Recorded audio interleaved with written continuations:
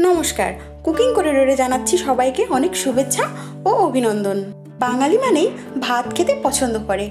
আর গরম গরম ভাতের সাথে যদি চার পাঁচ প্রকারের ভর্তার রেসিপি হয়, তাহলে খাওয়াটা কিন্তু একেবারে জমে যায়। তো আমি এখানে কোনো প্রকার বাটা বাটি বা ব্লেন্ডারের ঝামেলা ছাড়াই খুবই সহজে পাঁচ রকমের ভর্তা তৈরি করেছি।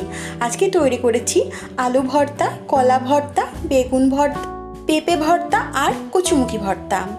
তো এই ভর্তাগুলো আমি খুবই সহজভাবে কীভাবে তৈরি করেছি তা জানতে দেখতে থাকুন ভিডিওর শেষ পর্যন্ত। প্রথমে আমি শুকনো খোলায় কিছু মরিচ টেলে নিব।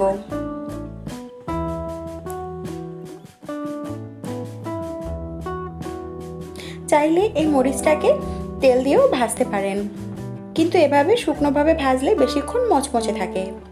এই পর্যায়ে আমি কিছুটা সর্ষের তেল দিয়ে দিয়েছি।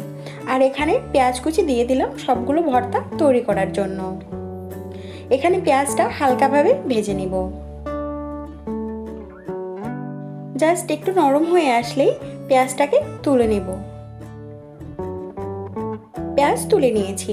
এরপরে প্যানে আরও একটু সর্ষের তেল দিয়ে দেবো হালকা পরিমাণে। এখানে আমি প্রথমে বেগুনটাকে ভেজে নিব।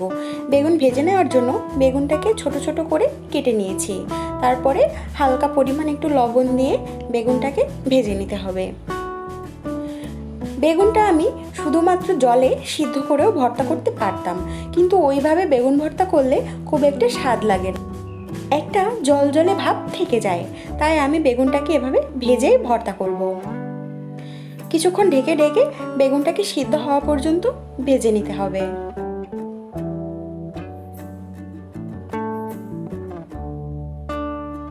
বেগুন ভাজা হয়ে গেছে।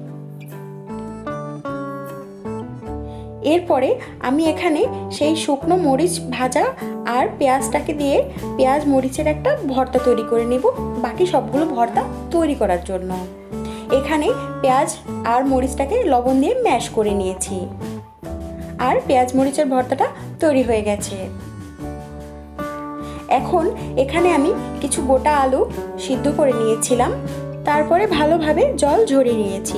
এখন এখানে পেঁয়াজ মরিচের ভর্তা কিছুটা নিয়ে আর কাঁচা সর্ষের তেল, লবণ নিয়ে আলুটাকে ভালোভাবে মেখে নিয়েছি। ব্যাস, তৈরি হয়ে গেল আলুর ভর্তা।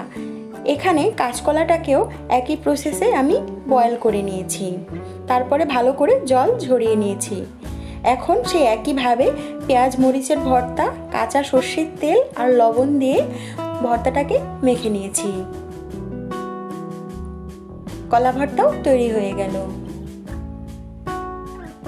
এবারে তৈরি করব পেঁপে ভর্তা। পেঁপে ভর্তাও ওই একই প্রসেসে পেঁয়াজ, মরিচ, ভর্তা, লবণ, সর্ষের তেল দিয়ে তৈরি করব। কিন্তু এখানে সাথে দিয়েছি আরেকটু কাসুন্দি। পেঁপে ভর্তায় কাসুন্দি ব্যবহার করলে এর টেস্টটা একটু অসাধারণ আসে।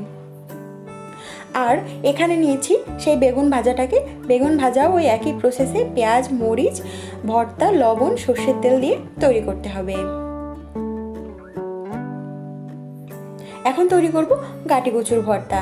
কচুমুখিটাকেও আমি ভালোভাবে সিদ্ধ করে নিয়েছি। তারপরে এ থেকে জল খুব ভালোভাবে ঝরিয়ে নিয়েছি। এখন পেঁয়াজ, মরিচ, ভর্তা, স্বাদ মতন লবণ আর কাঁচা সর্ষের তেল নিয়ে গাটি কচুটাকে চটকে ভালোভাবে ভর্তা তৈরি করে নিয়েছি। ব্যাস, আমার পাঁচ রকমের ভর্তা একদম তৈরি। গরম গরম ভাতের সাথে ভর্তাগুলো খুবই ভালো লাগে। আমার ভিডিওটি ভালো লাগলে লাইক, কমেন্ট আর শেয়ার করুন। আর আমার চ্যানেলটি সাবস্ক্রাইব করে পাশে থাকা বেল আইকনটি প্রেস করুন এরকম নতুন নতুন রেসিপি পেতে। ভালো থাকুন, সুস্থ থাকুন। আবার ফিরে আসব অন্য কোনো দিন নতুন কোনো রেসিপি নিয়ে। আজকের মতো এখানেই বিদায় নিচ্ছি।